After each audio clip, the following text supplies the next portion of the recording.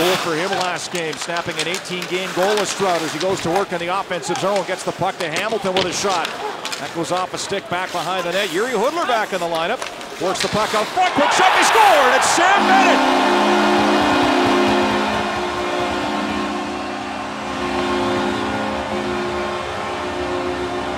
Two games in a row for the rookie and the Flames with an early first period goal. Sam Bennett out to center. He finds Backlund full stride. Backlund check. Bennett follows up. Bennett right in. Scores!